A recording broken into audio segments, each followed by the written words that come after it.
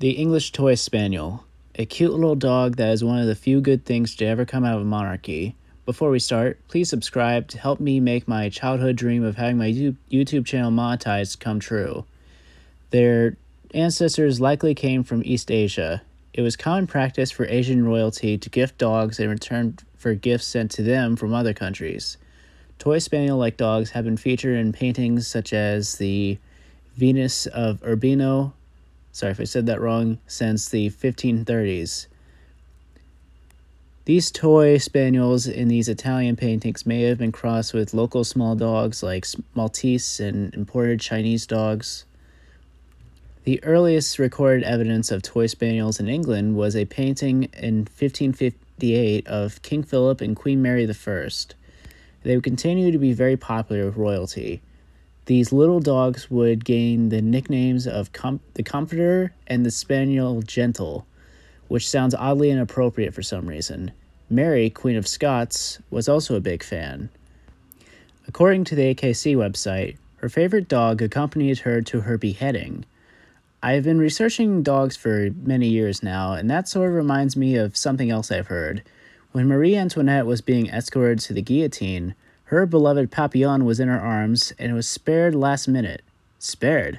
So that means they were going to kill it? Just to what degree did the Queen's English toy spaniel accompany her to her beheading? Of course, I need to mention the English toy spaniel's most well known fan, King Charles II. No modern line can be traced back to his spaniels, but he is credited for significantly increasing the popularity of these dogs.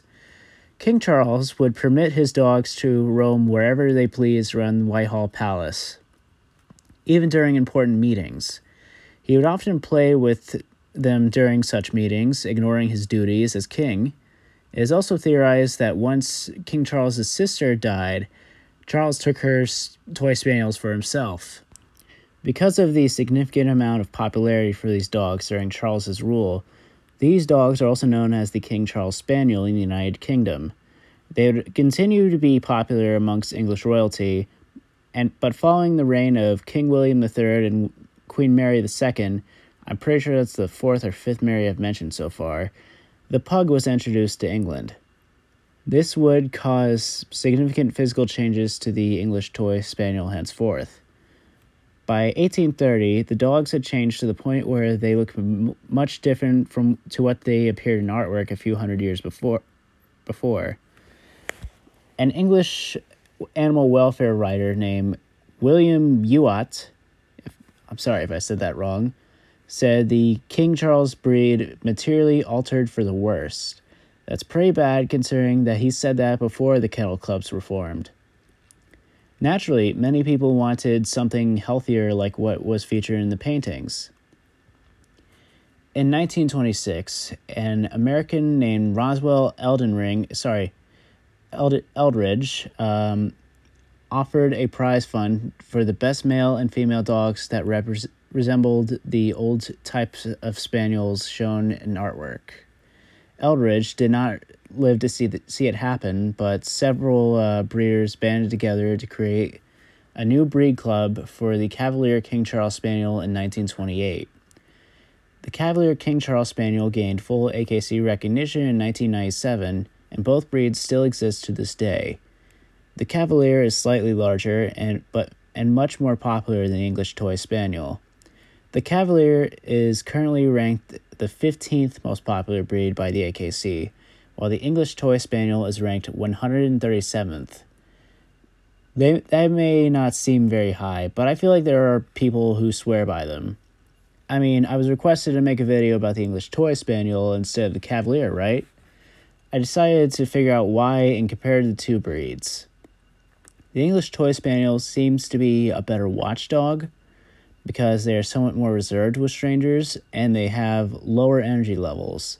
This is likely due to their brachycephalic head and their limited breathing capabilities.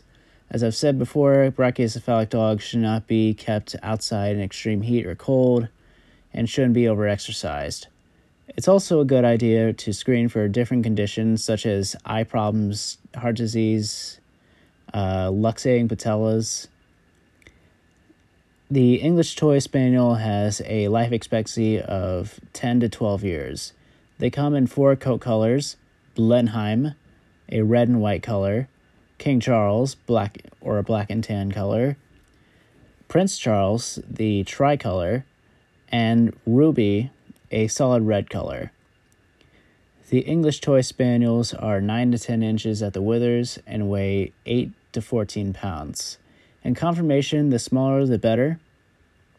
English Toy Spaniels are amazing apartment dogs and they are considered one of the best dogs for senior citizens. They're great with children. Because of their size, it's highly recommended not to leave them unsupervised with children, mostly out of concern of what an excited kid may do to a small dog. They could get hurt if they're handled too rough. If socialized properly, they do great with other dogs. They should be groomed weekly to prevent matting. That also includes their feathery ears. So, would I consider bringing an English Toy Spaniel into my family? I have no major reason not to. Admittedly, I think I may prefer other toy breeds more, but I still like these dogs. I may consider one when I'm an old man and my grandchildren stop visiting. I've never met one of these dogs before, and I can't recall if I've ever met a Cavalier in person either. It's weird because they're so popular, yet I can't recall a single instance of me seeing one in person. The English Toy Spaniel is an amazing small dog that would make your apartment feel like a castle and they'd make you feel like royalty. My next several videos will be requests for different livestock guardian breeds. The next episode will be about the Caucasian Shepherd. Let me know if there's any dog related topics you'd like me to discuss. I try to fulfill every episode request, so it will come out eventually.